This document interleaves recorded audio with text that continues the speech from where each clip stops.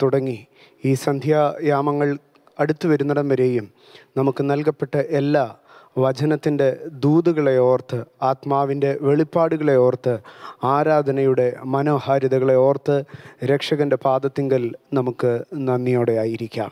കഴിഞ്ഞ സമയങ്ങളിലൊക്കെയും ഹൃദയത്തിന്റെ നിലവാരം അറിഞ്ഞ് ആത്മാവിന്റെ ഇടപെടലുകൾ നാം അനുഭവിച്ചു കൊണ്ടേയിരുന്നു വചനത്തിന്റെ ആഴമേറിയ മർമ്മങ്ങൾ നമ്മുടെ അന്ധരാത്മാവിനെ ശുദ്ധീകരിച്ചു കൊണ്ടേയിരുന്നു നാം ഇന്ന് പകൽക്കാലം കേട്ടിരുന്നുവല്ലോ യേശുവിനോടുകൂടെ ഇരിക്കുമ്പോൾ നമ്മുടെ അവസ്ഥകൾ മനോനിലവാരങ്ങൾ വിശ്വാസത്തിന്റെ അളവുകൾ മാറ്റപ്പെടും. അമേൻ ഈ ഒരു പകൽക്കാലം ദൈവസന്നിധിയിൽ നാം ചെലവഴിക്കുമ്പോൾ നമ്മുടെ നിരൂപണങ്ങൾ നിലവാരങ്ങൾ മാറ്റപ്പെടുന്ന ഒരു പകലായി ദൈവം ഇത് മാറ്റിത്തരട്ടെ എന്ന് ആത്മാർത്ഥമായി പ്രാർത്ഥിക്കുകയാണ്.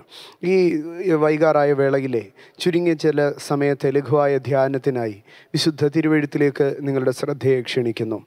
അതിനായി പത്രോസിന്റെ ഒന്നാം ലേഖനം മൂന്നാം അധ്യായം അതിന്റെ ആറാം വാക്യത്തിലേക്ക് നിങ്ങളുടെ ശ്രദ്ധയെ കൊണ്ടുവരട്ടെ. പത്രോസിന്റെ ഒന്നാം ലേഖനം മൂന്നാം അധ്യായം അതിന്റെ ആറാം വാക്യം. സുപരിചിതമായിരിക്കുന്ന ഒരു വേദഭാഗമാണ് നമുക്ക് ഇത്. പലപ്പോഴും വിവാഹ ശുശ്രൂഷ വേദികളിലൊക്കെയും വായിച്ചു കേട്ടിട്ടുള്ള ഒരു അധ്യായ ഭാഗമാണ്. അതിൽ നിന്ന് അടർത്തിയെടുത്ത ഒരു വാക്യത്തിലേക്ക് നിങ്ങളെ കൊണ്ടുവരട്ടെ. ആറാം വാക്യം. അങ്ങനെ സാറ അബ്രഹാമിനെ യജമാനെന്ന് വിളിച്ച് അനുസരിച്ചിരുന്നു. നന്മ ചെയ്ത് യാതൊരു ഭീഷണിയും പേടിക്കാതിരുന്നാൽ നിങ്ങൾ അവളുടെ മക്കളായി തീർന്നു ആ വാക്യത്തിന്റെ രണ്ടാം ഭാഗത്തിലേക്ക് നമ്മുടെ ശ്രദ്ധയെ കൊണ്ടുവരാം. യാതൊരു ഭീഷണിയും പേടിക്കാതിരുന്നാൽ നിങ്ങൾ അവളുടെ മക്കളായി തീർന്നു ആകയാൽ വിശുദ്ധ പത്രോ അപ്പോസലൻ ഇവിടെ ഒരു കുടുംബജീവിതത്തിന് ആവശ്യമായ ചില വിഷയങ്ങളെ പറയുമ്പോൾ അതിൽ കുടുംബജീവിതത്തിലുള്ള സ്ത്രീയുടെ പങ്കിനെക്കുറിച്ച് താൻ അവിടെ പറയുകയാണ്. ഈ കുടുംബജീവിതത്തിലെ സ്ത്രീത്വത്തിന്റെ പങ്കിനെ സ്ത്രീത്വത്തിന്റെ ഉത്തരവാദിത്തത്തെക്കുറിച്ച് പറയുമ്പോൾ ആ ആറ് വാക്യങ്ങൾ നാം വായിക്കുമ്പോൾ പ്രധാനമേറിയ ഏഴ് വിഷയങ്ങളെയാണ് വിശുദ്ധ പൗലോസ് അവിടെ ചൂണ്ടിക്കാണിക്കുന്നത്. ഒന്നാമതായി ഭാര്യ ഭർത്താവിന് കീഴടങ്ങിയിരിക്കണമെന്നും രണ്ട് നിർമ്മലമായ നടപ്പിൽ കൂടെ ഒരു സുവിശേഷീകരണം നടത്തണമെന്നും നിർമ്മലമായ നടപ്പിൽ കൂടെ ഒരു സുവിശേഷീകരണം നടത്തണമെന്ന് പറയുന്നു. അടുത്തതായി വസ്ത്രത തന്റെ അലങ്കാരത്തെക്കുറിച്ച് 是。തന്റെ അലങ്കാരത്തെക്കുറിച്ച് പറയുന്നു. അടുത്തതായി തന്റെ പ്രത്യാശയെക്കുറിച്ച് ക്രിസ്തുവിൽ പ്രത്യാശ വെക്കുന്ന അനുഭവത്തെക്കുറിച്ച് ദൈവത്തിൽ പ്രത്യാശ വെക്കുന്ന സ്ത്രീത്വത്തെക്കുറിച്ച് പറയുന്നു. അടുത്തതായി എപ്രകാരമാണ് ഒരനുസരണത്തിന്റെ തികവിലേക്ക് സാറ കടന്നുപോയത് എന്നുള്ളതായ ഒരു മാർഗരേഖയെ കാട്ടിക്കൊണ്ട് സാറായുടെ ജീവിതത്തിൽ നിന്ന് അവിടെ പഠിപ്പിക്കുന്നത് ഒന്ന് സാറ എങ്ങനെ അനുസരിച്ചിരുന്നു എന്ന് അനുസരണത്തിന്റെ ഒരു മാതൃകയെ കാണിക്കുന്നു. ആറാമതായി സാറ നന്മ ചെയ്തു എന്ന് പഠിപ്പിക്കുന്നു. ഏഴാമതായി സാറ ഭീഷണികളെ പേടിച്ചില്ല എന്ന് പറയുന്നു. ഇങ്ങനെ ഏഴ് വിഷയങ്ങളാണ് നമുക്കിവിടെ കാണുവാൻ കഴിയുന്നത്. അതിലെ ഏഴാമത്തെ വിഷയത്തിലേക്ക് നമ്മുടെ ശ്രദ്ധയെ കൊണ്ടുപോകാം. പലപ്പോഴും ഇതിലെ പ്രാരംഭ ഭാഗങ്ങളൊക്കെ നാം പലപ്പോഴും കേൾക്കുന്നതാണ്. അതൊക്കെ കേൾക്കുന്നത് നമുക്ക് വളരെ സന്തോഷമുള്ള കാര്യമാണ്. സ്ത്രീകളുടെ വസ്ത്രാലങ്കാരത്തെക്കുറിച്ച് അവർ തലമുടി പിന്നുന്നതിനെക്കുറിച്ച് അതൊക്കെ പ്രസംഗ പ്രസംഗവേദികളിൽ കേൾക്കാൻ നമുക്കൊക്കെ ഭയങ്കര സന്തോഷമാണ്. ആകയാൽ അനുസരണത്തെക്കുറിച്ചൊക്കെ പറയുന്ന ഇതൊക്കെയും നമുക്ക് സന്തോഷകരമാണ്. ക്രിസ്തീയ ധാർമ്മികതയുടെ മൂല്യം തന്നെയാണ്. എന്നാൽ അതിന്റെ ഏഴാമതായി പറയുന്ന ഒരു വിഷയം പത്രോസ് സപ്പോസലൻ തന്റെ കുഞ്ഞുമക്കളെ വിളിച്ചിട്ട് പറയുകയാണ് യാതൊരു ഭീഷണിയും പേടിക്കാതിരുന്നാൽ നിങ്ങൾ അവളുടെ മക്കളായി തീർന്നുവെന്ന്. മലയാളത്തിൽ അത് മക്കൾ മക്കൾ മക്കൾ എന്ന് പറഞ്ഞു പോകുന്നുവെങ്കിലും നമ്മൾ മറ്റ് പരിഭാഷകളിൽ ഇംഗ്ലീഷ് പരിഭാഷകളിലൊക്കെ നമ്മൾ ശ്രദ്ധിക്കുമ്പോൾ അവിടെ നമുക്ക് വ്യക്തമായിട്ട് കാണുവാൻ കഴിയും ഹൂസ് ഡോട്ടേഴ്സ് എ ആർ എന്ന് പറയുന്നു. ആകയാൽ അവിടെ പെൺമക്കൾ എന്ന് തന്നെ ഉദ്ദേശിച്ചാണ് അവിടെ പറയുന്നത്. അവളുടെ മക്കളായി തീരുക. അതൊരു പുരുഷനെ ഉദ്ദേശിച്ചല്ല അതൊരു സ്ത്രീയെ ഉദ്ദേശിച്ച് തന്നെ പറയുകയാണ്. സ്ത്രീയെ വിളിച്ചിട്ട് പറയുകയാണ് നീ ഭീഷണികളെ ഭയപ്പെടരുത്. ഇന്ന് സന്ധ്യ ഈ വേളയിൽ ദൈവവചനം ശ്രവിക്കുന്ന എന്റെ പ്രിയപ്പെട്ടവരോട് ഞാൻ ഓർപ്പിക്കുവാൻ ആഗ്രഹിക്കുന്നത് ദൈവവചനം അനുശ്വാസിക്കുന്ന ഒരു സ്ത്രീത്വം എന്തെന്നാൽ ഭീഷണിപ്പെടാത്ത ഒരു സ്ത്രീത്വമാണ്. ഭീഷണിപ്പെടാത്ത സ്ത്രീത്വം. നാം പലപ്പോഴും നമ്മുടെ കുഞ്ഞുങ്ങളെയൊക്കെ അഭ്യസിപ്പിക്കുമ്പോൾ ഭീഷണികളിൽ ഭയപ്പെട്ട് ജീവിക്കുവാനാണ് നാം നമ്മുടെ പെൺകുഞ്ഞുങ്ങളെ പ്രത്യേകമായി അഭ്യസിപ്പിക്കുന്നത്. പക്ഷേ വിശുദ്ധ പത്രോസ് ഇവിടെ പറയുകയാണ് ഭീഷ യാതൊരു ഭീഷണിയും പേടിക്കാതിരുന്നാൽ നിങ്ങൾ അവളുടെ മക്കളായി തീർന്നു അങ്ങനെയെങ്കിൽ ഒരു പെൺകുട്ടി അവൾ ഭീഷണികളെ പേടിക്കണമോ? ഭീഷണിപ്പെടുമ്പോൾ അവളുടെ മുഴങ്കാൽ വിറച്ച് അവളൊരു മുറിയുടെ മൂലയ്ക്ക് പോയിരുന്ന് കരഞ്ഞുകൊണ്ടിരിക്കണമോ? അതോ ഭീഷണികളുടെ ഭീഷണികളുടെ മുമ്പിൽ ഞാൻ പേടിക്കുക ഇല്ല എന്ന് പറയണമോ? അറിയാമോ നമ്മൾ പലപ്പോഴും നമ്മുടെ സ്ത്രീത്വത്തെ നമ്മൾ ഒരു പേടിയുടെ മറവിൽ ഒരു ഭയത്തിന്റെ മറപ്പാടിനകത്ത് ഒളിച്ചു വെപ്പാൻ ആഗ്രഹിക്കുന്നവരാണ്. എന്നാൽ ഇവിടെ തിരുവെഴുത്ത് പറയുകയാണ് സാറയുടെ മകൾ എന്ന് വിളിക്കപ്പെടണമെങ്കിൽ ഭീഷണികളെ പേടിക്കരുത്. സാറയുടെ പെൺമക്കൾ ഭീഷണിയെ പേടിപ്പിക്കരുത്. സാറയുടെ കുഞ്ഞുമക്കൾ ഭീഷണിയെ പേടിക്കരുത്. ആകയാൽ നമ്മുടെ കുഞ്ഞുങ്ങൾ നാം ജീസസ് ലാംസിന് അനന്തരമായി നാം ദൈവവചനത്തിലേക്ക് കടക്കുകയാണല്ലോ. കൊച്ചു പെൺകുഞ്ഞുങ്ങൾ വളർന്നു വരുമ്പോൾ അവരെ നാം പേടിപ്പിച്ചല്ല വളർത്തേണ്ടത്. പകരമായി ഭീഷണികളെ പേടിക്കാതിരിപ്പാൻ തക്കവണ്ണം ഭീഷണികളോട് ചെറുത്തു നിൽപ്പാൻ തക്കവണ്ണമുള്ള ഒരു ധൈര്യത്തോടുകൂടെ ക്രിസ്തീയ യു ക്രിസ്തീയ ബാല്യത്തെ നാം വളർത്തിയെടുക്കണം. പ്രത്യേകിച്ച് ക്രിസ്തീയ സ്ത്രീത്വത്തെ നാം വളർത്തിയെടുക്കണം. ക്രിസ്തീയ സ്ത്രീത്വത്തെ വളർത്തിയെടുക്കുമ്പോൾ ഒന്നുകൂടെ ഞാൻ പറയട്ടെ ക്രിസ്തീയ സ്ത്രീത്വത്തെ നാം വളർത്തിയെടുക്കുമ്പോൾ ഭീഷണികളെ പേടിക്കാതിരിപ്പാൻ നാം വളർത്തിയെടുക്കണം. ബാല്യത്തിൽ അവർ വളർന്നു വരുമ്പോൾ ക്രിസ്തീയ സ്ത്രീത്വത്തിന്റെ ബാല്യത്തിൽ അവർ ഭയപ്പെടരുത് എന്ന് പറയണം. അവരുടെ ബാല്യം കഴിഞ്ഞ് കൗമാരമൊക്കെ എത്തുമ്പോൾ പെൺകുട്ടികളൊക്കെ കൗമാരം എത്തുമ്പോൾ മാതാപിതാക്കളുടെ അന്തരംഗങ്ങളിൽ ആളിക്കത്തുന്ന ഭയത്തിന്റെ തീ ഉണ്ടായിരിക്കും. പക്ഷേ വളർന്നു വരുന്ന കുഞ്ഞുങ്ങളിലേക്ക് നിങ്ങൾ ആ ഭയം പകർന്നു കൊടുക്കുകയല്ല. അതിലുപരിയായിട്ട് യാതൊരു ഭീഷണിയെയും നിങ്ങൾ പേടിക്കരുത് എന്ന് പറഞ്ഞു കൊടുക്കണം. പെൺമക്കളുള്ള മാതാപിതാക്കളൊക്കെ ഒന്ന് പത്രോസ് മൂന്നിന്റെ ആറെടുത്ത് അവരെ ഒന്ന് വായിച്ചു കേൾപ്പിക്കണം. യാതൊരു ഭീഷണിയും പേടിക്കാതിരുന്നാൽ യാതൊരു ഭീഷണിയും പേടിക്കാതിരുന്നാൽ പേടിക്കരുത്. കൗമാരത്തിന്റെ നാളുകളിൽ പെൺകുഞ്ഞുങ്ങളെ അഭ്യസിപ്പിക്കണം. ഭീഷണികളെ പേടിപ്പിക്കാതെ പേടിക്കാതെ ജീവിക്കുവാൻ തക്കവണ്ണം കൗമാരം കഴിഞ്ഞ് യൗവനത്തിലേക്കൊക്കെ എത്തുമ്പോൾ ഒരുപക്ഷെ പെൺകുഞ്ഞുങ്ങൾ നമ്മുടെ വീടുകളിൽ നിന്നൊക്കെ ദൂരെ പോയേക്കാം. പഠന സംബന്ധമായോ ജോലി സംബന്ധമായിട്ടോ ഒക്കെ ദൂരവേ പോകുമ്പോൾ നമ്മുടെ പെൺകുഞ്ഞുങ്ങളെ നാം പഠിപ്പിക്കണം. ഭീഷണികളെ പേടിക്കരുതെന്ന്. അവരെ വളരെ ആശയോടെ ആഗ്രഹത്തോടെയൊക്കെ മറ്റൊരു കുടുംബത്തിലേക്ക് പറഞ്ഞയക്കുമ്പോൾ ആ കുടുംബത്തിലേക്ക് പറഞ്ഞയക്കുമ്പോൾ അവിടെ പോയി എല്ലാവരെയും പേടിച്ച് ജീവിക്കണം. അവിടുത്തെ അപ്പനെയും അമ്മയും മക്കളെയും അവിടുത്തെ നാത്തൂനെയും കുടുംബക്കാരെയും മുഴുവനും പേടിച്ച് ജീവിക്കണം എന്ന് പറഞ്ഞ് നിങ്ങൾ വിടുന്നു എന്നുള്ളതല്ല. ഒന്ന് പത്രോസ് മൂന്നിന്റെ ആറും കൂടെ അവരെ ഒന്ന് വായിച്ചു കേൾപ്പിക്കണം. അവിടെ ഇങ്ങനെയാണ് പറയുന്നത് യാതൊരു ഭീഷണിയെയും പേടിക്കരുത് എന്ന് പറയുന്നു. ഇന്ന് പകൽക്കാലം ഞാൻ ഈ വചനം പറയുമ്പോൾ എത്ര ദൈവമക്കൾക്ക് ഇത് ഏറ്റെടുത്ത് തങ്ങളുടെ പെൺമക്കളോട് ഈ വാക്യത്തെ പറയുവാൻ താല്പര്യമുണ്ട്. സന്ധ്യ മയങ്ങുന്ന നേരമാകുമ്പോഴത്തേക്കും പെൺമക്കളെ പേടിപ്പിക്കുകയാണ്. ഇരുട്ടിനെ അവരെ പേടിപ്പിക്കുകയാണ്. അമേൻ ജീവിതത്തിൽ അവർ ഏകാന്തതയിലേക്കും ഒറ്റപ്പെടലിലേക്കും കടന്നു പോകുമ്പോൾ അവരെ ഭയപ്പെടുത്തുകയാണ്. ഇല്ല നമ്മുടെ കുഞ്ഞുങ്ങളെ നമ്മൾ അഭ്യസിപ്പിക്കേണ്ട ഒരു കാലഘട്ടം ദൈവവചനം മാറ്റമില്ലാത്ത ദൈവവചനം പറയുകയാണ്. സാറായുടെ പെൺമക്കൾ സാറായുടെ പെൺകുഞ്ഞുങ്ങൾ ഭീഷണികളെ ഭയപ്പെടരുത്. ഇന്ന് പകൽക്കാലം ഞാൻ ഒന്നും കൂടെ പറയട്ടെ. ക്രിസ്തീയ സ്ത്രീത്വം ഭീഷണികളിൽ ഭയപ്പെട്ടു പോകരുത്. സാഹചര്യം ഉളവാക്കുന്ന ഭീഷണിയാകട്ടെ ചുറ്റുപാടുകൾ ഉളവാക്കുന്ന ഭീഷണിയാകട്ടെ കാലാന്തരങ്ങളിൽ ഉളവായി വരുന്ന സംഭവ വികാസങ്ങളിൽ ഉളവാകുന്ന ഭീഷണികളാകട്ടെ കുടുംബത്തിൽ നിന്ന് ഉളവാകുന്ന ഭീഷണികളാകട്ടെ ഏത് മേഖലയിൽ നിന്ന് ഉളവാകുന്ന ഭീഷണിയാകട്ടെ ക്രിസ്തീയ സ്ത്രീത്വത്തോട് ദൈവവചനത്തിന് പറയുവാനുള്ള ദൂതിതാകുന്നു. യാതൊരു ഭീഷണിയും പേടിക്കരുത്. അവരാണ് സാറയുടെ മക്കൾ. യാതൊരു ഭീഷണിയും പേടിക്കരുത്.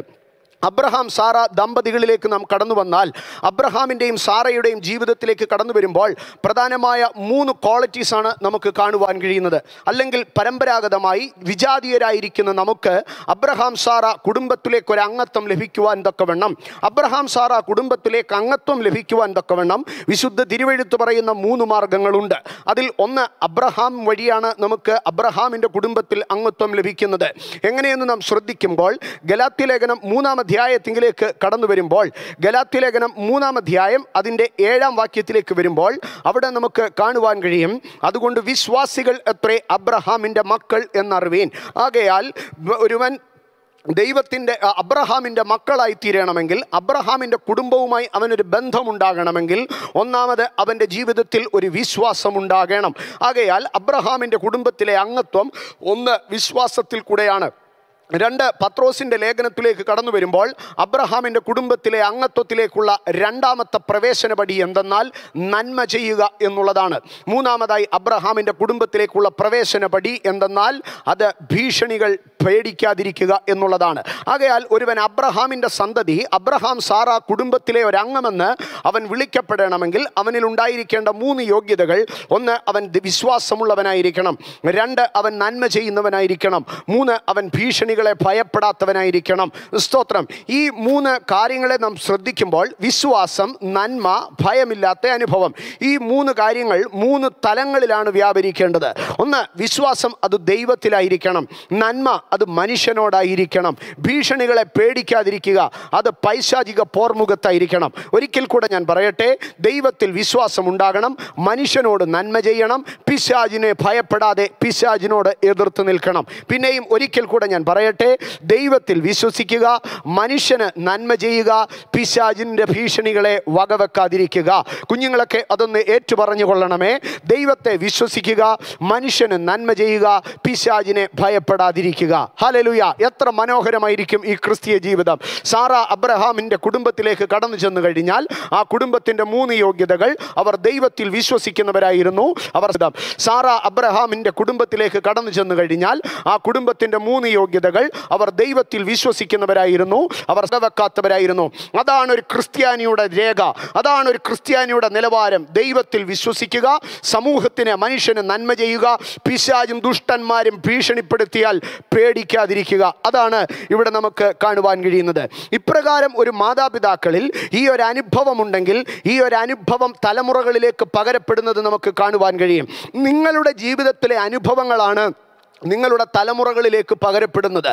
ഇതിന് ഇത് ഈ പ്രത്യേകാൽ ഈ ഭയം എന്നുള്ള വിഷയത്തിലേക്ക് നാം കടന്നു വരുമ്പോൾ മാതാപിതാക്കൾ ഭയത്തിന് അടിപ്പെട്ടവരാണെങ്കിൽ അവരുടെ മക്കളും ഭയത്തിന് അടിപ്പെട്ടവരായിരിക്കും. പക്ഷേ മാതാപിതാക്കൾ ഭീഷണികളെ ഭയപ്പെടാത്തവരാണെങ്കിൽ അവരുടെ മക്കളും സധൈര്യം നേരിടുന്നവരായിരിക്കും. അതിന് ഉദാഹരണമായി തിരുവഴുത്തിലേക്ക് നിങ്ങളുടെ ശ്രദ്ധയെ ഞാൻ കൊണ്ടുവരട്ടെ. എബ്രായ ലേഖനം പതിനൊന്നാം അധ്യായത്തിലേക്ക് കടന്നു വരുമ്പോൾ എബ്രായ ലേഖനം പതിനൊന്നാം അധ്യായം അതിന്റെ ഇരുപത്തി മൂന്നാം വാക്യത്തിൽ വിശ്വാസത്താൽ മോശയുടെ ജനനത്തിങ്കൽ ശിശു സുന്ദരൻ എന്ന അമ്മ അപ്പന്മാർ കണ്ടു. സ്തോത്രം. അടുത്ത ഭാഗം രാജാവിന്റെ കൽപ്പന ഭയപ്പെടാതെ അവനെ മൂന്ന് മാസം ഒളിപ്പിച്ചു വെച്ചു. രാജാവിന്റെ കൽപ്പന ഭയപ്പെടാതെ. അത് അവിടെ ഒരു കൽപ്പന എന്നതിലുപരിയായി അത് അവിടെ ഒരു ഭീഷണിയാണ്. അതവിടെ ഒരു ഭീഷണിയാണ്. കുഞ്ഞുങ്ങളെ കൊന്നുകളയണം എന്നുള്ളതായ ഭീഷണി. ഈ ഭീഷണിയുടെ മുൻപാകെ ആ ഭീഷണിയെ ഭയപ്പെടാത്ത ഒരു അമ്മയെയും അപ്പനെയും നമുക്കവിടെ കാണുവാൻ കഴിയും. അന്ന് മോശ വളരെ ശിശുവാണ്.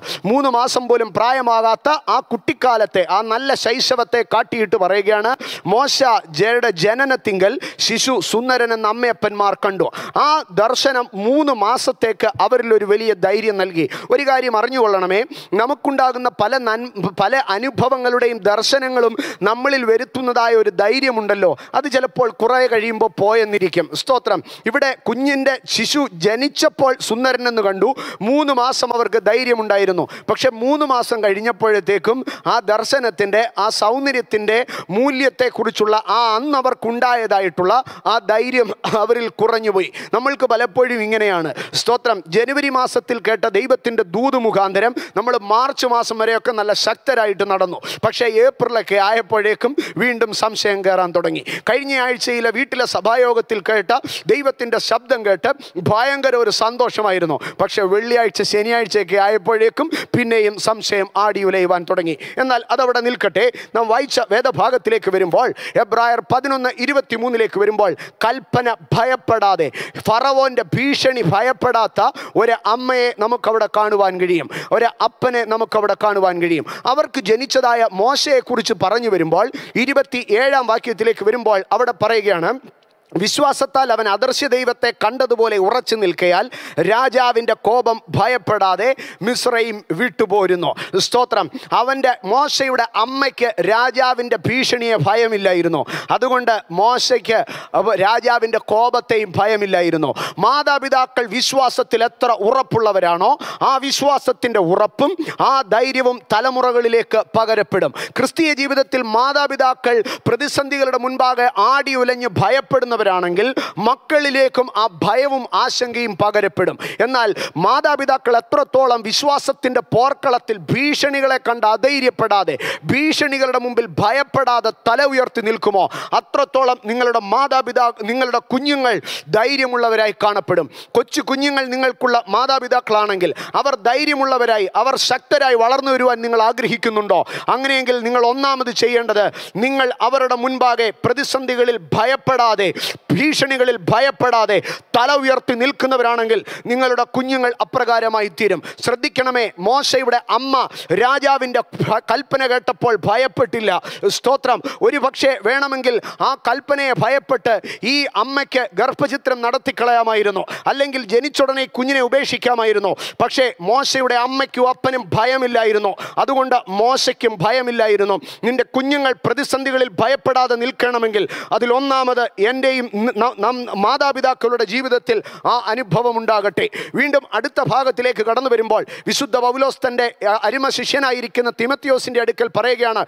തിമത്യോസ് നിനക്ക് വിശ്വാസമുണ്ടെന്ന് എനിക്കൊരു ഉറപ്പ്. എന്താ പൗലോസ് തിമത്യോസിന് ഇത്ര വിശ്വാസമുണ്ടെന്ന് താങ്കൾക്ക് ഉറപ്പ്? തിമത്യോസിന് എഴുതിയ രണ്ടാം ലേഖനത്തിലേക്ക് കടന്നു വരുമ്പോൾ ഒന്നാം അധ്യായം അഞ്ചാം വാക്യത്തിൽ പൗലോസ് പറയുകയാണ് ആ വിശ്വാസം ആദ്യം നിന്റെ വലിയമ്മ ലോവിസിലും അമ്മ യുനീക്കയിലും ഉണ്ടായിരുന്നു. അതുകൊണ്ട് എനിക്കൊരു ഉറപ്പുണ്ട് നിന്നിലും വിശ്വാസമുണ്ട്. മാതാപിതാക്കൾ ഭയമില്ലാത്തവരാണെങ്കിൽ മക്കൾക്കും ആ ഭയമില്ലായ്മ കാണുവാൻ കഴിയും. മാതാപിതാക്കൾ വിശ്വാസമുള്ളവരാണെങ്കിൽ മക്കളിലേക്കും ആ വിശ്വാസത്തിന്റെ ഉറപ്പ് വിശ്വാസത്തിന്റെ ധൈര്യം പകരപ്പെടുന്നത് നമുക്ക് കാണുവാൻ കഴിയും. ആകയാൽ യാതൊരു ഭീഷണിയും പേടിക്കാതിരിക്കുവാൻ തക്കവണ്ണം നമ്മുടെ തലമുറകളെ വിശിഷ്യ നമ്മുടെ പെൺമക്കളെ നമ്മൾ അഭ്യസിപ്പിക്കുന്നവരായിരിക്കണം. ആരാണ് മനുഷ്യനെ ഭീഷണിപ്പെടുത്തുന്നത്. ക്രിസ്തീയ ചരിത്രത്തിലേക്ക് കടന്നു വരുമ്പോൾ പലരും ഭീഷണികളിൽ കൂടി കടന്നുപോയതിനെ നമുക്ക് കാണുവാൻ കഴിയും. രാജാക്കന്മാരുടെ ഒന്നാം പുസ്തകം പത്തൊൻപതാം അധ്യായത്തിൽ സുപരിചിതമായ അനുഭവമാണ് ഏലിയാവിനെ ഭീഷണിപ്പെടുത്തുന്നതായ ഒരു ഇസബേലിനെ നമുക്ക് കാണുവാൻ കഴിയും. ഇങ്ങനെ തിരുവഴുത്തിലേക്ക് കടന്നു വന്നു കഴിഞ്ഞാൽ അനേക ഭീഷണികളുണ്ട്. നമ്മുടെ കർത്താവായിരിക്കുന്ന യേശു യേശു ക്രിസ്തുവിനെ ഹെരോദാവ് ഭീഷണിപ്പെടുത്തി ആ പരീശന്മാർ ഭീഷണിപ്പെടുത്തി യഹൂദന്മാർ ശാസ്ത്രിമാർ ഒക്കെ യേശുവിനെ ഭീഷണിപ്പെടുത്തി. പക്ഷേ ഭീഷണികളുടെ മുൻപാകെ യേശു ഓടിപ്പോയില്ല. നെഹമ്യാവിന്റെ പുസ്തകത്തിലേക്ക് കടന്നു വരുമ്പോൾ നെഹമ്യാവിനെ ഭീഷണിപ്പെടുത്തി. നെഹമ്യാവ് ചോദിച്ചു എന്നെ പോലെ ഒരുത്തൻ ഓടിപ്പോകുമോ? ഭീഷണികളുടെ മുൻപാകെ കലങ്ങാത്ത ഒരു ഒരു ഭക്ത അനുഭവത്തെ നമുക്ക് ക്രിസ്തീയ ജീവിതത്തിൽ കാണുവാൻ കഴിയും. എന്നാൽ ക്രിസ്തീയ ജീവിതത്തിലെ സ്ത്രീത്വം ഭീഷണികൾ ഭയപ്പെടരുത് എന്ന് പറയുമ്പോൾ അതിന് വിരുദ്ധമായി ചില ചോദ്യങ്ങൾ ചോദിച്ചേക്കാം. ക്രിസ്തീയ ജീവിതത്തിലെ സ്ത്രീത്വത്തെക്കുറിച്ച് പറയുന്നത് ഭർത്താവിന് കീഴടങ്ങിയിരിക്കണം എന്നല്ലേ പറയുന്നത്. ഭർത്താവിനെ ഭയപ്പെടണമെന്നല്ലേ പറയുന്നത്? ഭർത്താവിനെ ഭയപ്പെടണം എന്ന് പറയുമ്പോൾ എങ്ങനെയാണ് സ്ത്രീ ഭീഷണിയെ പേടിക്കാതെ ജീവിക്കുന്നത് എന്ന് ചോദിക്കാം. എഫ് എസ് ലേഖനം അഞ്ചാം അധ്യായം മുപ്പത്തി മൂന്നാം വാക്യമാണ് പറയുന്നത്. ഭാര്യ ഭർത്താവിനെ ഭയപ്പെടണമെന്ന് പറയുന്നത്. ശരിയാണ് എഫ് എസ് ലേഖനം അവസാനിക്കുമ്പോൾ ഭാര്യ ഭർത്താവിനെ ഭയപ്പെടണമെന്നാണ് പറയുന്നത്. എന്നാൽ ആ ഭയത്തിന്റെ യഥാർത്ഥ അർത്ഥം എന്ത് എന്ന് നാം ശ്രദ്ധിക്കുമ്പോൾ മറ്റ് പരിഭാഷകളിലേക്ക് നാം കടന്നു വരുമ്പോൾ ഭർത്താവിന് റവറൻസ് കൊടുക്കുക ഭർത്താവിന് റെസ്പെക്റ്റ് കൊടുക്കുക ഭർത്താവിന് മാന്യത കൊടുക്കുക എന്നുള്ളതാണ് പറയുന്നത്. ആകയാൽ ആ ഭയം എന്നുള്ളത് മാ ഭർത്താവിന് നൽകുന്നതായ ബഹുമാനത്തെയും ആദരവിനെയും കാണിക്കുകയാണ്. ആകയാൽ ആ ഭർത്താവിന് നൽകുന്ന ബഹുമാനവും ആദരവും ഒരിക്കലും ആ ഭാര്യ ഭീഷണിയുടെ മുൻപാകെ ഭയപ്പെടണമെന്നാണെന്ന് ക്രിസ്ത്യാനിത്വം പറയുന്നില്ല. സ്തോത്രം. അടുത്തതായി കടന്നു വരുമ്പോൾ അഞ്ചാം അധ്യായം ഇരുപത്തിരണ്ടാം വാക്യം പറയുന്നുണ്ട് ഭാര്യ ഭർത്താവിന് കീഴടങ്ങിയിരിക്കണമെന്ന്. അതുകൊണ്ട് ഒരുപക്ഷെ ചിന്തിച്ചേക്കാം അതൊരു കീഴ്പ്പെടുത്തലാകുന്നുവെന്ന് എവിടെയും കീഴ്പ്പെടുത്തുവാൻ പറഞ്ഞിട്ടില്ല കീഴടങ്ങുവാൻ മാത്രമേ പറഞ്ഞിട്ടുള്ളൂ. യജമാനന്മാർക്ക് ദാസന്മാർ കീഴടങ്ങുവാൻ പറഞ്ഞിട്ടുണ്ട് പക്ഷേ യജമാനന്മാരായ ദൈവ മക്കൾ ഈ ദാസന്മാരെ കീഴ്പ്പെടുത്തുവാൻ പറഞ്ഞിട്ടില്ല. ക്രിസ്തീയതയിൽ കീഴടങ്ങുവാൻ ഒരു ഉപദേശമുണ്ട് പക്ഷേ കീഴ്പ്പെടുത്തുവാൻ തക്കവണ്ണം കുടുംബത്തെ കുടുംബാംഗങ്ങളെ സഹോദരങ്ങളെ പെൺമക്കളെ കീഴ്പ്പെടുത്തുവാൻ ദൈവവചനം അനുശാസിക്കുന്നില്ല. സ്തോത്രം. ഇവിടെ ഈ കീഴ്പ്പെടുക എന്നുള്ള വാക്കിന് അർത്ഥമായി നമുക്ക് കാണുവാൻ കഴിയുന്നത് സബ്മിറ്റ് ദംസെൽസ് സബ്മിസീവ് സബ്മിഷൻ എന്നാണ് പറയുന്നത്. സ്തോത്രം. അതിന്റെ അർത്ഥവ്യാഖ്യാനങ്ങളിലേക്ക് നാം കടന്നു ചെല്ലുമ്പോൾ സ്വാർത്ഥത ഒഴിവാക്കി പരഗുണം കാക്ഷിക്കുക എന്നുള്ള അർത്ഥമാണ്. സ്വാർത്ഥത ഒഴിവാക്കി പരഗുണം കാക്ഷിക്കുക എന്നുള്ളത്. അതിനെക്കുറിച്ചൊക്കെ നമ്മൾ ആഴമായി നമ്മൾക്ക് ചരിത്ര പശ്ചാത്തലങ്ങളിൽ നിന്നൊക്കെ എടുക്കുവാൻ കഴിയും. പക്ഷേ ഇവിടെ അതിന് നമുക്ക് സമയത്തെ അനുവദിക്കുന്ന സമയം നമുക്ക് അതിനു മുമ്പിൽ അതുപോലെ ഇല്ലല്ലോ. എന്നാൽ ഇവിടെ നമുക്ക് കാണുവാൻ കഴിയും. സാറയെക്കുറിച്ച് പറയുകയാണ് സാറയ്ക്കൊരു പ്രത്യേകതയുണ്ടായിരുന്നു. യാതൊരു ഭീഷണിയും പേടിക്കാത്തവളായിരുന്നു സാറ. സാറ നീ എന്താണ് യാതൊരു ഭീഷണിയും പേടിക്കാതിരുന്നതെന്ന് ചോദിച്ചാൽ സാറ ഭീഷണി പേടിക്കാത്തവളായിരുന്നു. പക്ഷേ സാറ ഭീഷണി പേടിക്കാതിരുന്നതിന്റെ മറ്റൊരു കാരണം കൂടെ ഞാൻ പറയും. സ്തോത്രം. ഞാൻ ആരംഭത്തിൽ ഓർപ്പിച്ചല്ലോ മക്കൾ ഭീഷണികളെ പേടിക്കാതിരിക്കുന്നവരായിരിക്കണമെങ്കിൽ അതിനേറ്റവണ്ണമുള്ള ഒരു മാതാപിതാവ് അവനുണ്ടായിരിക്കണം. മോശ ഭയപ്പെട്ടില്ല ഫറവോന്റെ കോപത്തെ. കാരണം അവന്റെ അപ്പനും അമ്മയും അതായിരുന്നു. അവന്റെ ജനറ്റിക്സ് അതായിരുന്നു. അവന്റെ ഡി എൻ എ അതായിരുന്നു. അവന്റെ മാതാപിതാക്കളുടെ പാരമ്പര്യം അതായിരുന്നു. ഭയമില്ലാത്ത പാരമ്പര്യം. അതുപോലെ ഈ താഴേക്ക് വരുമ്പോൾ ഇവിടെ സാറയുടെ ജീവിതത്തിലേക്ക് വരുമ്പോൾ സാറ ഭീഷണികളെ ഭയപ്പെട്ടില്ല. എന്താണ് സാറ ഭീഷണികളെ ഭയപ്പെടാതിരുന്നത് എന്ന് ശ്രദ്ധിച്ചു കഴിഞ്ഞാൽ അതിൽ നമുക്ക് കാണുവാൻ കഴിയുന്ന ഒന്നാമത്തെ വിഷയം സാറയുടെ ഭർത്താവ് വിശ്വാസിയായിരുന്നു. സാറയുടെ ഭർത്താവ് വിശ്വാസിയായിരുന്നത് കൊണ്ടാണ് സാറയ്ക്ക് ഭീഷണികളെ പേടിക്കാതിരിക്കാൻ കഴിഞ്ഞത്. ഒരു ദൈവ പൈതൽ അവൻ വിശ്വാസമുള്ളവനാണെങ്കിൽ അവന്റെ കുടുംബത്തിലുള്ളവർക്കെല്ലാം ധൈര്യത്തോടു കൂടി ജീവിപ്പാൻ കഴിയും. എന്നാൽ ഈ അബ്രഹാമിന്റെ വിശ്വാസവും സാറയുടെ ഭയമില്ലായ്മയും തമ്മിൽ ചില ബന്ധങ്ങളുണ്ട്. എന്താണ് അതിന്റെ ഒരു കാരണമെന്ന് ശ്രദ്ധിച്ചു കഴിഞ്ഞാൽ സ്തോത്രം ഈ അബ്രഹാം വിശ്വാസത്തിൽ ജീവിക്കുന്നവനായിരുന്നു. വിശ്വാസത്തിൽ ജീവിക്കുന്നവന്റെ ഭാര്യ ഭീഷണി കേൾക്കേണ്ടി വരത്തില്ല. എന്താണ് വിശ്വാസത്തിൽ ജീവിക്കുന്ന അബ്രഹാമിന്റെ പ്രത്യേകത? അതിന്റെ ഒരു ഭാഗത്തിലേക്ക് നാം കടന്നു വരുമ്പോൾ ഉൽപ്പത്തി പുസ്തകം പതിനാലാം അധ്യായത്തിലേക്ക് കടന്നു വരാം. ഉൽപ്പത്തി പുസ്തകം പതിനാലാം അധ്യായത്തിലേക്ക് കടന്നു വരുമ്പോൾ അബ്രഹാമിന് വളരെയേറെ കാശ് കിട്ടുവാനുള്ള ഒരു സ്വാ സാഹചര്യമുണ്ടായി. നമുക്കറിയാം ലോത്തിന്റെ കുടുംബവുമായുള്ള ലോത്തിന്റെ കുടുംബവുമായി ബന്ധപ്പെട്ട് ഒരു യുദ്ധത്തിന്റെ പശ്ചാത്തലത്തിലാണ്. ഇവിടെ അബ്രഹാമിന് ഇപ്പോൾ ധാരാളമായി പണം കിട്ടാനൊരു വഴിയുണ്ട്. എന്നാൽ അബ്രഹാം ഇവിടെ ഒരു കാര്യം പറഞ്ഞു. സ്വതോം രാജാവിന്റെ അടുക്കൽ അബ്രാം ഒരു കാര്യം പറഞ്ഞു എനിക്ക് പണം വേണ്ട എനിക്ക് പണം വേണ്ട.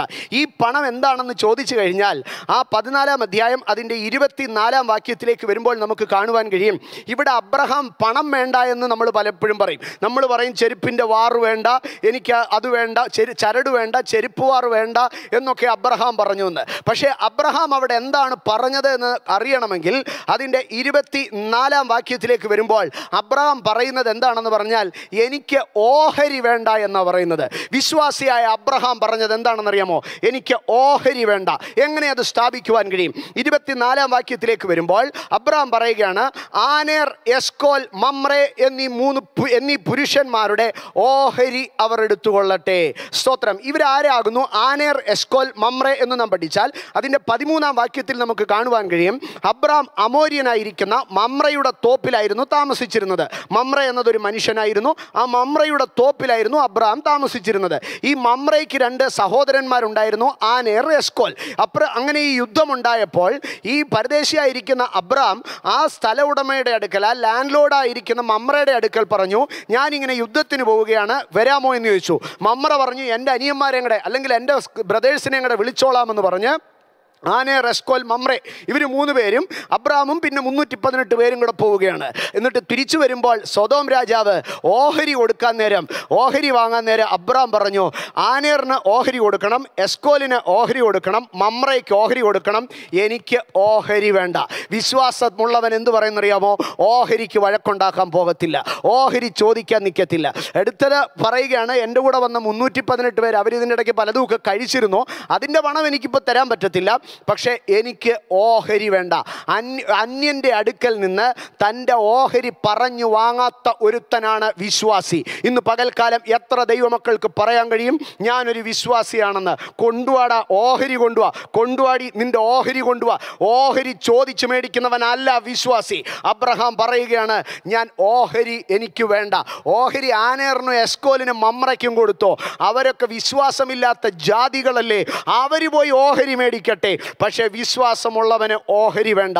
ഇന്ന് പകൽക്കാലം എത്ര ദൈവമക്കൾക്ക് പറയാൻ കഴിയും? ഞാനും ഒരു വിശ്വാസിയാണെന്ന്. സ്തോത്രം. എത്ര ദൈവമക്കൾക്ക് പറയാൻ കഴിയും? തന്നിരുന്ന് പറയാൻ കഴിയും. പക്ഷേ കുടുംബത്തിൽ ചേർന്നിരിക്കുന്ന ജീവിത പങ്കാളിയോട് ചേർന്ന് പറയാൻ പറ്റുമോ? സ്തോത്രം. ഞാൻ അബ്രാമിനെ പോലെ ഒരു വിശ്വാസിയാ. ഓഹരി ചോദിക്കാൻ ഇന്ന് വരെ പോയിട്ടില്ലെന്ന് എത്ര ദൈവമക്കൾക്ക് പറയാൻ കഴിയും? സ്തോത്രം. നാം പലപ്പോഴും പറയുന്ന ഒരു ഭാഗമുണ്ട്. മുടിയനായ ഒരു പുത്രനെ കുറിച്ച് നമ്മൾ പറയും. അവനെ ബൈബിൾ മുടിയൻ എന്ന് പറഞ്ഞിട്ടില്ലെങ്കിലും നമ്മളെല്ലാവരും അവനെ മുടിയനായ പുത്രൻ എന്നാണ് പറയുന്നത്. ഇളയ പുത്രൻ എന്ന് പറഞ്ഞു കഴിഞ്ഞാൽ നമ്മൾ പലരെക്കുറിച്ചും ചോദിക്കും. പക്ഷേ മുടിയനായ പുത്രൻ എന്ന് പറഞ്ഞു കഴിഞ്ഞാൽ അവനെ നമുക്കെല്ലാം അറിയാം. പക്ഷേ ഈ മുടിയനായ പുത്രനെ കുറിച്ച് നാം പറയാൻ അവന്റെ ജീവിതത്തിൽ അവൻ ചെയ്ത തെറ്റ് എന്താണെന്ന് ചോദിച്ചാൽ അവൻ അപ്പന്റെ വീട്ടിൽ നിന്ന് ഏതാണ്ടൊക്കെ വാരിക്കൊണ്ട് പോയെന്നൊക്കെ നമ്മൾ ചിന്തിക്കും. പക്ഷേ ഇരുപത്തിനാല് അൻപത്തി മൂന്ന് ലൂക്കോസിന്റെ സുവിശേഷം ക്ഷമിക്കണം ലൂക്കോസിന്റെ സുവിശേഷത്തിലേക്ക് കടന്നു വരുമ്പോൾ പതിനഞ്ചാം അധ്യായം അതിന്റെ പതിനൊന്നാം വാക്യത്തിലേക്ക് വരുമ്പോൾ ലൂക്കോസ് പതിനഞ്ച് പതിനൊന്നിൽ വരുമ്പോൾ ഈ മകൻ അപ്പന്റെ അടുക്കൽ ഒരൊറ്റ കാര്യമേ പറഞ്ഞുള്ളൂ.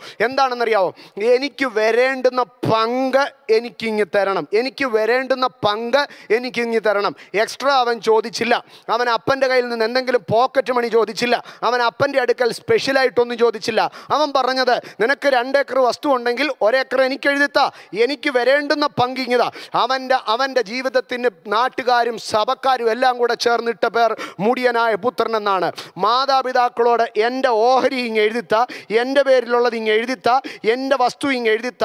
ഏയ് അവിടെ കിടക്കുന്ന റബ്ബറും തോട്ടം എന്റെ പേരിൽ എഴുതിത്ത. ഞാൻ പോയി ഫ്ലാറ്റ് മേടിക്കട്ടെ ഞാൻ പോയി സിറ്റിയിൽ ഒരു വസ്തു മേടിക്കട്ടെ എന്റെ പങ്ക് ഇങ്ങ് എഴുതിത്ത.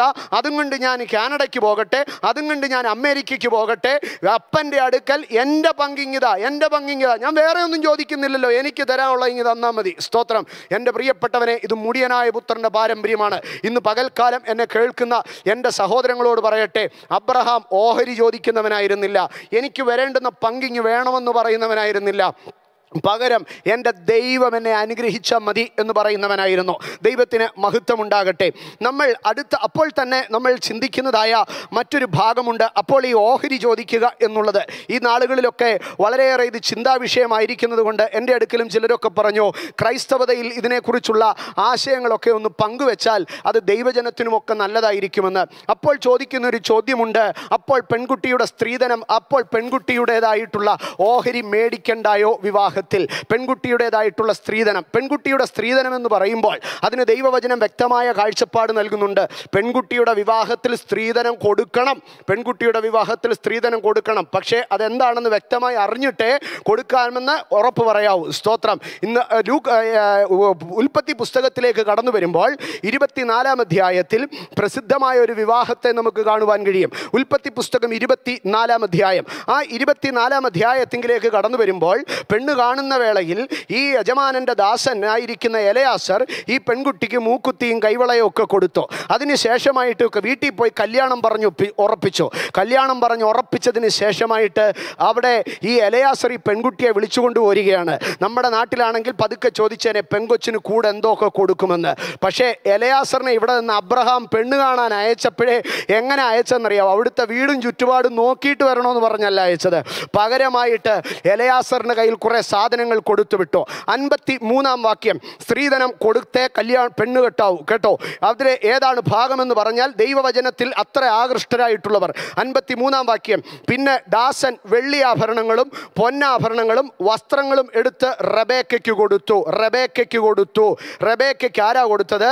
അബ്രഹാമിന്റെ ദാസൻ റബേക്കയ്ക്ക് കൊടുത്തു. അടുത്തത് അവളുടെ സഹോദരനും അമ്മയ്ക്കും വിശേഷ വസ്തുക്കൾ കൊടുത്തു. സ്തോത്രം. ആകയാൽ വിവാഹത്തിൽ സ്ത്രീധനം കൊടുക്കുന്നതിനും മേടിക്കുന്നതിനും ഒന്നും കുഴപ്പമില്ല. പക്ഷേ കൊടുക്കുന്നത് എങ്ങോട്ടാണെന്ന് അറിഞ്ഞുകൊള്ളണം. പുരുഷന്റെ വീട്ടിലെ ദാസൻ സ്ത്രീയുടെ അമ്മയ്ക്കും സ്ത്രീയുടെ വധുവിന്റെ അമ്മയ്ക്കും വധുവിന്റെ സഹോദരനും വിശേഷ വസ്തുക്കൾ കൊടുത്തു. പെങ്കൊച്ചിന് വേണ്ടുന്നതായ ആഭരണങ്ങളും കൊടുത്ത് ഇങ്ങ് വീട്ടിലോട്ട് കൂട്ടിക്കൊണ്ടുപോരുന്നു. അത് പ്രസിദ്ധമായിരിക്കുന്ന അനുഭവമാണ്. എന്നാൽ അതുകൊണ്ട് മാത്രം അവസാനിക്കുന്നില്ല. നമ്മൾ ഇസഹാക്കിന്റെ പാരമ്പര്യത്തിലേക്ക് വരാം.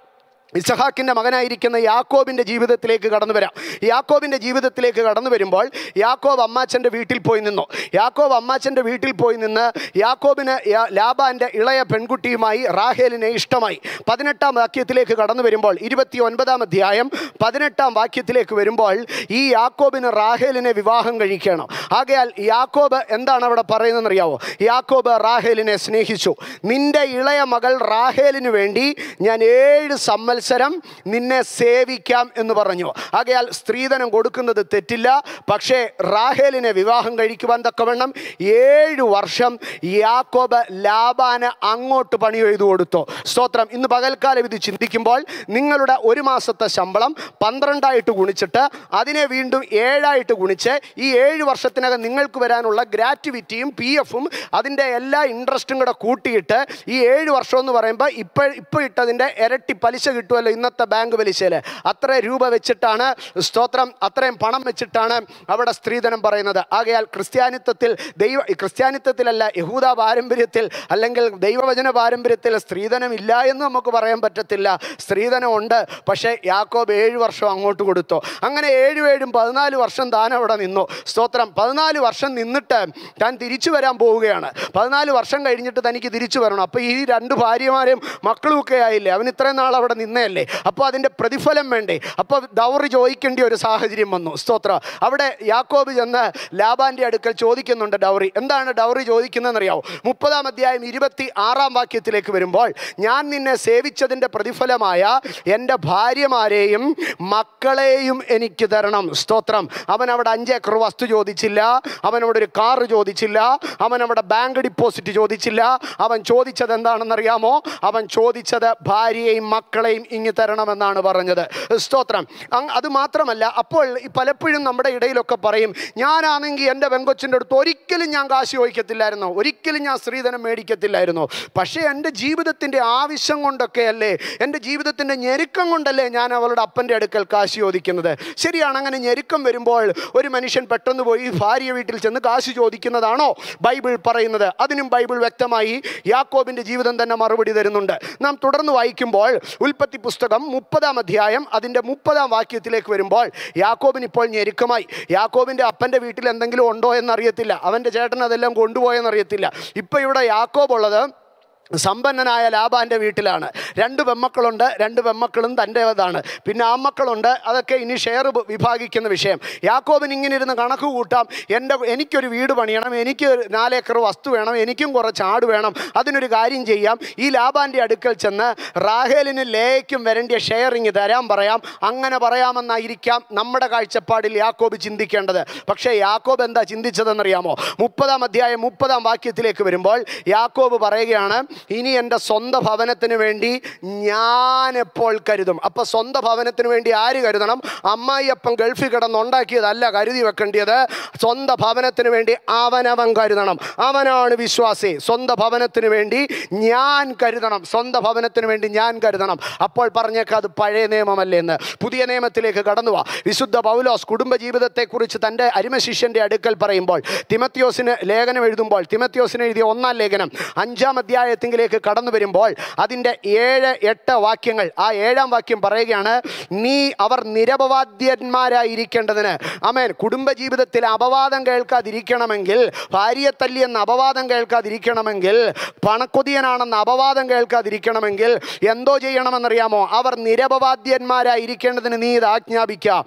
അടുത്തത് എട്ടാം വാക്യം തനിക്കുള്ളവർക്കും പ്രത്യേകം സ്വന്തം കുടുംബക്കാർക്കും വേണ്ടി കരുതാത്തവൻ. അപ്പോൾ അവൻ എന്തു വേണം? സ്വന്തം കുടുംബക്കാർക്ക് വേണ്ടി അവൻ തന്നെത്താൻ കരുതുന്നവനായിരിക്കണം. ഇങ്ങനെ കരുതാത്തവന്റെ ജീവിതത്തിൽ എന്തു സംഭവിക്കും? കരുതാത്തവന്റെ ജീവിതത്തിൽ എന്തു സംഭവിക്കും? സ്തോത്രം. വിശ്വാസം തള്ളിക്കളഞ്ഞ് അവിശ്വാസിയേക്കാൾ അധമനായിരിക്കും. സ്തോത്രം. ഈ കരുതുക എന്ന് പറയുന്നതിന് രണ്ട് അനുഭവമുണ്ട്. ഒന്ന് അത് അധ്വാനിക്കുന്നതിനെ കാണിക്കുകയാണ്. രണ്ട് ജീവിതത്തിൽ ഒരു കരുതൽ വേണം. പല ദൈവമക്കളും പറയും കാക്കകളെ വിചാരിക്കുക ഇന്ന് കിട്ടുന്നതൊക്കെ ഇന്ന് അങ്ങ് തിന്നു തീർക്കും. അതുകൊണ്ട് കരുതൽ വേണ്ട എന്ന്. അല്ല ഒരു കരുതൽ ഉള്ളവനായിരിക്കണം. ആ കരുതലില്ലാത്തത് കൊണ്ട് ലഭിക്കുന്നതൊക്കെയും വീണ്ടു വിചാരമില്ലാതെ ചെലവഴിക്കുന്നത് കൊണ്ട് സ്തോത്രം. പലപ്പോഴും വിശ്വാസം വിട്ടുഴലും. പലരും പറയും വിശ്വാസ ജീവിതം കാക്കയെ പോലെയാണെന്ന്. കാക്കയെ പോലെയാണ്. അപ്പോൾ തന്നെ ഉറുമ്പിനെ പോലെയുമാണ്. വേനൽക്കാലത്ത് ആഹാരം ശേഖരിച്ചു വെക്കുന്ന ഉറുമ്പിനെ കുറിച്ചും ബൈബിൾ പറഞ്ഞിട്ടുണ്ട്. ആകയാൽ സ്വന്തം കുടുംബത്തിന് സ്വന്തം കുടുംബക്കാർക്ക് വേണ്ടി അവൻ തന്നെത്താൻ കരുതുന്നവനായിരിക്കണം. ആകയാൽ വേറൊരുവന്റെ ഓഹരിയിൽ നിന്നല്ല വേറൊരുവനോട് പോയി ഓഹരി ചോദിച്ചല്ല സ്വന്തം ജീവിതം ഓടിക്കേണ്ടത് തന്നെത്താൻ അധ്വാനിച്ചിട്ട് കരുതുന്നവനായിരിക്കണം. നാം അബ്രഹാമിന്റെ അനുഗ്രഹത്തെക്കുറിച്ച് പഠിക്കുമ്പോൾ അബ്രഹാം എങ്ങനെ അനുഗ്രഹിക്കപ്പെട്ടു എന്ന് ചോദിച്ചാൽ അബ്രഹാം വിശ്വാസത്താൽ അനു ആണ് അനുഗ്രഹിക്കപ്പെട്ടത്. ദൈവം അബ്രഹാമിന്റെ വിശ്വാസത്തെ നീതിയായി കണക്കിട്ടു. ദൈവം അബ്രഹാമിനെ അനുഗ്രഹിച്ചു. അബ്രഹാം അനുഗ്രഹിക്കപ്പെട്ടത് വിശ്വാസത്താലാണ്. എന്നാൽ ഇസഹാക്ക് അനുഗ്രഹിക്കപ്പെട്ടത് വിശ്വാസം കൊണ്ട് മാത്രമല്ല. ഇസഹാക്ക് അനുഗ്രഹിക്കപ്പെട്ടതിന് രണ്ട് മൂന്ന് കാരണങ്ങളെ നമുക്ക് പറയുവാൻ കഴിയും. എന്നാൽ അതിലെ ഒരു കാരണത്തിലേക്ക് നിങ്ങളുടെ ശ്രദ്ധയെ കൊണ്ടുവരാം. സ്തോത്രം. ഉൽപ്പത്തി പുസ്തകം ഇരുപത്തി ആറാം അധ്യായത്തിലേക്ക് കടന്നു വരാം ഉൽപ്പത്തി പുസ്തകം ഇരുപത്തി ആറാം അധ്യായം. അതിന്റെ പന്ത്രണ്ടാം വാക്യത്തിലേക്ക് വരുമ്പോൾ ഇരുപത്തി ആറാം അധ്യായം അതിന്റെ പന്ത്രണ്ടാം വാക്യത്തിലേക്ക് വരുമ്പോൾ അവിടെ നമുക്ക് കാണുവാൻ കഴിയും.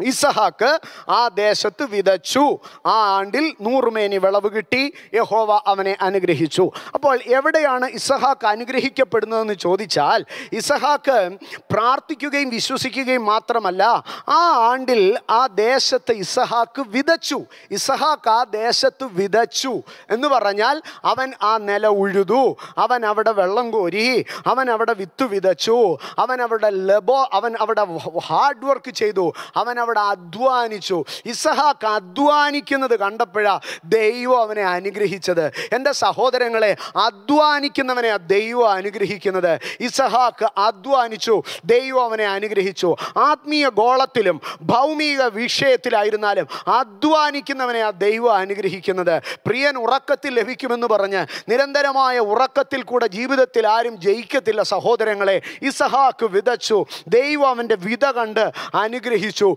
സ്തോത്രം. ഇസ്രായേലിന്റെ നിലവിളി മാത്രമല്ല ദൈവം കേട്ടത്. ഊഴിയ വിചാരകന്മാർ മുഖാന്തരമുള്ള അവരുടെ കഷ്ടത ദൈവം കണ്ടു. സ്തോത്രം. അവരുടെ വിയർപ്പ് കണ്ടു. ഗിതയോൻ മുന്തിരിച്ചക്കിന് അരികെ വെച്ച് അവൻ മെതിച്ചുകൊണ്ടിരിക്കുകയായിരുന്നു. അവിടെ വെച്ച് ദൈവം അവനെ കണ്ടു. ഏലിയാവ് സരപ്തയിലേക്ക് ചെന്നപ്പോൾ ആ വിധവ വിറക് പറക്കിക്കൊണ്ടിരിക്കുകയായിരുന്നു. അവിടെ ദൈവത്തിന്റെ അത്ഭുതം കണ്ടു. യേശു ശിഷ്യന്മാരെ തിരഞ്ഞെടുക്കുമ്പോൾ അപ്പനോട് കൂടെ ഇരുന്ന് വല നന്നാക്കുന്നവരെ കണ്ടു. ആമേ കർത്താവ് എപ്പോഴും ചുങ്കസ്ഥലത്ത് ചെന്ന് ലേവി എന്ന ചുങ്കക്കാരൻ അവൻ പിരിച്ചുകൊണ്ട് അവൻ ജോലി ചെയ്യുന്നത് കണ്ട് യേശു കർത്താവ് അവനെ തിരഞ്ഞെടുത്തു.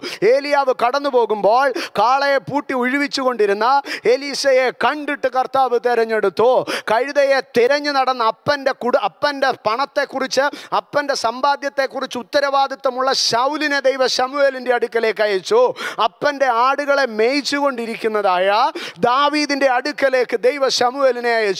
നിങ്ങൾ തിരുവഴുത്തിലെ ഓരോ വ്യക്തിത്വങ്ങളെയും എടുത്തു നോക്കുവീൻ. അധ്വാനിക്കുന്നവനെ ദൈവം തെരഞ്ഞെടുത്തു. കുഴിമടിയനെ അല്ല ദൈവം തെരഞ്ഞെടുത്തത്. ദാവീദിനെ തെരഞ്ഞെടുത്തതിനെ കുറിച്ച് പറയുകയാണ്. ആടുകളെ നോക്കുന്ന വേലയിൽ നിന്ന് അവനെ കൊണ്ടുവന്നു. അപ്പോൾ അവനെ വേലയിൽ നിന്നാ ദൈവം പൊക്കിയെടുത്തത്. വേല ചെയ്യുന്നവനെ ദൈവം അനുഗ്രഹിക്കും. വേല ചെയ്യുന്നവനെ ദൈവം അനുഗ്രഹിക്കും. അധ്വാനിക്കുന്നവനെ ദൈവം അനുഗ്രഹിക്കും. അധ്വാനിക്കുന്നവനെ ദൈവം അനുഗ്രഹിക്കും. ദുഃഖകരമെന്ന് പറയട്ടെ. ഇന്ന് നമ്മളിൽ അനേക കുഞ്ഞുങ്ങളുടെയൊക്കെ ഒരു ആഗ്രഹം എന്താണെന്നറിയാവോ സ്ത്രീധനം കിട്ടിക്കഴിയുമ്പോൾ കുറച്ച് പണം കിട്ടിക്കഴിയുമ്പോൾ ഒരു നാല് കാർ എടുക്കണം. ആ നാല് കാർ റെന്റെ കാറിന് വിൽക്കണം. അതിലെ രണ്ട് കാറും കൊണ്ട് ഞാൻ അതിന്റെ ഇൻട്രസ്റ്റ് എല്ലാം അടച്ചു തീർക്കും. ബാക്കി രണ്ട് കാറിന്റെ കാശ് കൊണ്ട് ഞാൻ എങ്ങനെയെങ്കിലും ആ മാസം ചെലവ് കഴിയും. അതിനുശേഷം അതിന്റെ കാശ് കൊണ്ട് ഞാൻ പിന്നെ ഈ രണ്ട് കാറും കൂടെ എടുക്കും. ഇതെല്ലാം എന്താണെന്നറിയാവോ? ഞാനിങ്ങനെ നാല് ഡ്രൈവർമാരെ വെക്കും. ഞാനിങ്ങനെ നാല് വണ്ടി ഇവിടെ കൊടുക്കും. ഞാനിങ്ങനെ ഇവിടെ ഇരുന്ന് എന്റെ ടാബിനകത്ത് ഇതെല്ലാം ഇങ്ങനെ കൺട്രോൾ ചെയ്തുകൊണ്ടിരിക്കും. അമ്മേ ഞാൻ എനിക്ക് നല്ലൊരു ഓഫീസ് ഉണ്ടായിരിക്കും. എനിക്കൊരു പുഷ് ബാക്ക് ചെയർ ഉണ്ടായിരിക്കും. ഞാനിങ്ങനെ ഒരു വലിയ ഹൈ സെറ്റപ്പിൽ നടക്കും. വേല ചെയ്യുവാനുള്ള മനസ്സില്ല. ആമേ ഇന്ന് പകൽക്കാലം ഞാൻ പറ ഇന്ന് പറയട്ടെ ഇസഹാക്കിനെ ദൈവം അനുഗ്രഹിച്ചു. എപ്പോഴാണെന്നറിയാമോ? ഇസഹാക്ക് അധ്വാനിച്ചു. അവൻ വിതച്ചത് കണ്ടിട്ട്. ആമേൻ അധ്വാനത്തിന്റെ നടുവിലാണ് ദൈവം അനുഗ്രഹിക്കുന്നത്. ആത്മീയ ഗോളത്തിലായിരുന്നാലും ഭൗമിക ഗോളത്തിലായിരുന്നാലും വചനത്തിൽ അധ്വാനിക്കണം പ്രാർത്ഥനയിൽ അധ്വാനിക്കണം ഉപവാസത്തിൽ അധ്വാനിക്കണം ഏത് മേഖലയിലാണോ ദൈവം നിങ്ങളെ ആക്കിയിരിക്കുന്നത് ആ വിഷയത്തിൽ നിങ്ങൾ അധ്വാനിക്കണം ആ വിഷയത്തിൽ നിങ്ങൾ റിസർച്ച് ചെയ്യണം ആ വിഷയത്തിൽ നിങ്ങൾ ഏറെ നേരം സമയം ചെലവഴിക്കണം. ദൈവം നിങ്ങൾക്ക് നൽകിയിരിക്കുന്ന എത്ര ചെറിയ ശുശ്രൂഷയാകട്ടെ എത്ര ചെറിയ വിഷയമാകട്ടെ അതിൽ നിങ്ങൾ അധ്വാന തൽപരനാകുന്നുവെങ്കിൽ അമേൻ നിങ്ങൾ അധ്വാനിക്കുവാൻ മനസ്സുള്ളവനാകുന്നുവെങ്കിൽ ദൈവം അനുഗ്രഹിക്കും. അബ്രഹാമിനെ വിശ്വാസത്താൽ അനുഗ്രഹിച്ചു ഇസഹാക്കിനെ അവന്റെ അധ്വാനം കണ്ട് അനുഗ്രഹിച്ചു. സ്തോത്രം. അപ്പോൾ തന്നെ നമുക്ക് ചിന്തിക്കാം. അപ്പോൾ ഈ ഈ ഒരു സമ്പ്രദായം. അടുത്തതായി നമ്മൾ ദാവീദിന്റെ ജീവിതത്തിലേക്ക് കടന്നു വരാം. ദാവീദിന്റെ ജീവിതത്തിലെ ഒരു ഭാഗത്തിലേക്ക് നിങ്ങളുടെ ശ്രദ്ധയെ കൊണ്ടുവരാം. ശമുവേലിന്റെ ഒന്നാം പുസ്തകത്തിലേക്ക് കടന്നു വരുമ്പോൾ അതിന്റെ പതിനെട്ടാം അധ്യായത്തിലേക്ക് കടന്നു വരുമ്പോൾ പതിനെട്ടാം അധ്യായത്തിൽ ശൗലിന്റെ ഭൃത്യന്മാർ വന്നിട്ട് ശൗൽ അയച്ച ആൾക്കാർ ശൗലിന്റെ ഭൃത്യന്മാർ വന്നിട്ട് ദാവീദിന്റെ അടുക്കൽ പറഞ്ഞു ദാവീദ് രാജാവിന് നിന്നെ ഇഷ്ടപ്പെട്ടു. ആകയാൽ രാജാവിന്റെ മകളെ നിനക്ക് കെട്ടിച്ചു തരാൻ പോവുകയാണ് ദാവീദ് അപ്പോഴേ അവിടെ ഇരുന്ന് മനക്കോട്ട കെട്ടി. ഞാൻ രാജാവിന്റെ മരുമകനാകും. രാജാവിന്റെ രഥം എനിക്ക് കിട്ടും. രാജാവിന്റെ അടുക്കൽ അവിടെ എനിക്ക് നാലേക്കർ തോട്ടം എഴുതി തരാൻ പറയണം. ഇതൊക്കെ ആയിരിക്കണം ദാവീദിന്റെ മനസ്സിൽ കൂടെ പോയത് അല്ലേ? അല്ല ദാവീദ് എന്താ മനസ്സിൽ ആരംഭത്തിൽ പറഞ്ഞെന്നറിയോ? അയ്യോ ഞാൻ എളിയവനല്ലേ. ഞാൻ ഞാൻ ദരിദ്രനല്ലേ. ഞാൻ എളിയവനല്ലേ. ആദ്യം ദാവീദ് എന്താ പറഞ്ഞെന്നറിയാവോ ഞാൻ ദരിദ്രനാണ്. എന്ന് പറഞ്ഞാൽ രാജാവിന്റെ മകളെ കെട്ടണമെങ്കിൽ രാജാവിന് സ്ത്രീധനം കൊടുക്കാൻ എന്റെ കയ്യിലില്ല. ഞാൻ ദരിദ്രനാണ്. ഞാൻ എളിയവനാണ്. ഞാൻ എന്റെ കുടുംബം ചെറുതാണ്. സ്തോത്രം മാത്രമല്ല ഞാൻ ദരിദ്രനാണ്. ആകയാൽ സ്ത്രീധനം കൊടുക്കുന്നത് തെറ്റല്ല. പക്ഷേ ആരാർക്കാ കൊടുക്കേണ്ടതെന്നറിയാമോ? ദാവീദ് താൻ കല്യാണം കഴിക്കാൻ പോകുന്ന പെൺകുട്ടിയുടെ അപ്പന് സ്ത്രീധനം കൊടുക്കണം. അപ്പോൾ ദാവീദ് പറഞ്ഞ് എന്റെ സ്ത്രീധനം കൊടുക്കാനില്ലെന്ന് പറഞ്ഞു. സ്തോത്രം ദാവീദ് പറഞ്ഞ് എന്റെ സ്ത്രീധനം കൊടുക്കാനില്ല. ഇംഗ്ലീഷ് ബൈബിളിലൊക്കെ പറയുമ്പോൾ അത് വ്യക്തമായി പറയുന്നുണ്ട് ഡൗറി ഡൗറി എന്ന് തന്നെയാണ് പറയുന്നത്. ആകയാൽ ഇവിടെ ഭൃത്യന്മാർ പറഞ്ഞു രാജാവിന് നിന്റെ ഡൗറി വേണ്ട.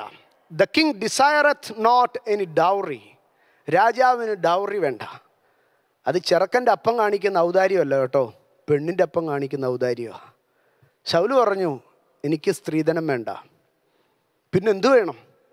നീ പോയി ഫെലിസ്തീനെ കൊന്ന് നൂറ് പേരെ കൊന്നു എന്നുള്ളതിന്റെ തെളിവ് കൊണ്ട് കൊടുക്കണം. ആ നൂറ് പേരെ കൊന്നു എന്നുള്ളതിന്റെ തെളിവ് കൊണ്ട് കൊടുത്താൽ രാജാവ് നിനക്ക് അത് ചെയ്തു തരും. ദാവീദ് അത് ചെയ്തു. രാജാവിന്റെ മകളെ അവന് ഭാര്യയായി കൊടുത്തു. ആകയാൽ അബ്രഹാം വിശ്വാസമുള്ളവനായിരുന്നു. അതുകൊണ്ട് അവന്റെ ഭാര്യ ഭീഷണിയെ പേടിക്കാത്തവളായിരുന്നു. ഇന്ന് പകൽക്കാലം എന്നെ കേൾക്കുന്ന എന്റെ സഹോദരങ്ങളെ ഒന്ന് ക്രിസ്തീയ സ്ത്രീത്വത്തിന്റെ പ്രത്യേകത ഭീഷണികളെ പേടിക്കാത്ത സ്ത്രീത്വമാണ്. ഞാൻ ആരംഭത്തിൽ പറഞ്ഞ കാര്യം ഒന്നും കൂടെ പറയട്ടെ. കൊച്ചു പെമ്മക്കൾ വളർന്നു വരുമ്പോൾ പേടിച്ച് ജീവിക്കാനല്ല ഭീഷണികളെ പേടിക്കാതെ ജീവിക്കാൻ പഠിപ്പിക്കണം. അവർ വളർന്നു വന്ന് കൗമാരമെത്തുമ്പോൾ മനുഷ്യന്റെ തുറിച്ചു നോട്ടത്തെയും ഭീഷണിയുടെ വാക്കുകളെയും ഭീഷണിയുടെ നോട്ടങ്ങളെയും ഭീഷണികരമായിരിക്കുന്ന പരിഹാസങ്ങളെയും ഭീഷണികരമായിട്ടുള്ള വിഷയങ്ങളെ പേടിക്കാതെ ജീവിക്കാൻ പഠിപ്പിക്കണം. ഒന്ന് പത്രോസ് മൂന്ന് ആറ് പെൺമക്കളുള്ള മാതാപിതാക്കളൊക്കെ മനപ്പാടം പഠിപ്പിക്കണം. യാതൊരു ഭീഷണിയും പേടിക്കാതിരുന്നാൽ നിങ്ങൾ സാറയുടെ മക്കളായി തീർന്നു അമേൻ വളർന്നു വരുമ്പോൾ കാലഘട്ടം പല ഭീഷണികൾ ഒരു ഒരുക്കിയേക്കാം. രോഗങ്ങൾ ഭീഷണികൾ ഒരുക്കിയേക്കാം. പൈശാചിക പോരുകൾ ഭീഷണികൾ ഒരുക്കിയേക്കാം. അവിടെയൊക്കെ പേടിച്ച് വിറങ്ങലിച്ച് നിൽക്കുവാനല്ല ഭയപ്പെടാതെ ഉറച്ചു നിൽക്കുവാൻ തക്കവണ്ണം. വേണം ആരാണ് ഭീഷണിപ്പെടുത്തുന്നതെന്നറിയാവും? ഭീഷണിപ്പെടുത്തുന്നത് ആരെന്ന് നാം ശ്രദ്ധിച്ചു കഴിഞ്ഞാൽ ഒന്ന് തോറ്റവൻ ഭീഷണിപ്പെടുത്തും. ഞാൻ ആരംഭത്തിൽ പറഞ്ഞു ഏലിയാവിനെ ഭീഷണിപ്പെടുത്തി ഇസബേൽ. എന്താണ് കാരണമെന്നറിയാവോ? തലേന്ന് ഇസബേൽ തോറ്റു. ഇസബേലിന്റെ പദ്ധതിയെല്ലാം പൊളിഞ്ഞു. തോറ്റവൻ ഭീഷണിപ്പെടുത്തും. തോറ്റവൻ പ്രാകുന്നതും ഭീഷണിപ്പെടുത്തുന്നതും മുഴുവൻ. തല്ലാനാന്ന് ഞങ്ങൾ തല്ലിയാൽ പോരെ. എന്താ തല്ലാത്തെ? തല്ലാനുള്ള കെപ്പില്ല. അതുകൊണ്ട് ഇപ്പം എന്താ പറയുന്നറിയാവോ? ഞാൻ തല്ലും. ഞാൻ തല്ലും ഞാൻ തല്ലും. തോറ്റവൻ ഭീഷണിപ്പെടുത്തും. ഇന്ന് പകൽക്കാലം നീ ഭീഷണികളെ ഭയപ്പെടരുത്. അവൻ പരാജയപ്പെട്ടവനാണ്. അവന്റെ പിമ്പിൽ നിൽക്കുന്നത് പരാജയപ്പെട്ട സാത്താന്റെ ശക്തിയാണ്. അതുകൊണ്ടാണ് അവൻ ഭീഷണിപ്പെടുത്തുന്നത്. രണ്ട് എന്തുകൊണ്ട് ഭീഷണിപ്പെടുന്നു പെടുത്തുന്നു എന്ന് ചോദിച്ചാൽ അവന്റെ ഉള്ളിൽ ഭയമുണ്ട്. അവന്റെ ഉള്ളിൽ ഭയമുണ്ട്. നിങ്ങൾ ഹെരോദാവിനെ ശ്രദ്ധിക്ക്. ഹെരോദാവിന് സ്ഥാനഭയം ഉണ്ടായി യേശു ജനിച്ച യഹൂദന്മാരുടെ രാജാവായി മിശിഹ എഴുന്നേറ്റ് വന്നാൽ എന്റെ സ്ഥാനം പോകും. അവന് ഭയമുണ്ടായി. അവൻ ഭീഷണിപ്പെടുത്താൻ തുടങ്ങി. ബാലാക്ക് ബിലയാമിനെ വിളിച്ച് ഭീഷണിപ്പെടുത്തുവാൻ നോക്കുന്നു. കാരണം ഇവന് പേടിയാകാൻ തുടങ്ങി. സഹോദരങ്ങളെ ഭീഷണിപ്പെടുന്നതല്ല ക്രിസ്തീയ ജീവിതം. ഭീഷണി ഭീഷണി പെടുത്തുവാൻ കഴിയുന്നതല്ല ക്രിസ്തീയ ജീവിതം. ഭീഷണികളിൽ പേടിച്ചോടുന്നതുമല്ല ക്രിസ്തീയ സ്ത്രീത്വം. ഭീഷണികളുടെ നടുവിൽ ധൈര്യത്തോടെ നിൽക്കുന്നത്. ക്രിസ്തീയത പറയുന്ന ഓരോ സ്ത്രീത്വങ്ങളെയും നിങ്ങൾ പരിശോധിച്ച് നോക്ക്. ബേത്തലഹേമിലെ ക്ഷാമകാലത്ത് എലിമലേക്കും കുടുംബവും പേടിച്ചോടിപ്പോയി. ഒന്നാം അധ്യായം ആരംഭിക്കുന്നു. എന്നാൽ ഒന്നാം അധ്യായം അവസാനിക്കുമ്പോൾ നവോമി എന്ന സ്ത്രീ ഒരു മോവാബ്യ പെൺകുട്ടിയെ വിളിച്ചുകൊണ്ട് ബേത്തലഹേം പട്ടണത്തിലേക്ക് കയറി വരിക ഞാൻ ചിന്തിക്കും എന്തൊരു ധൈര്യമാണ് നവോമിക്ക്.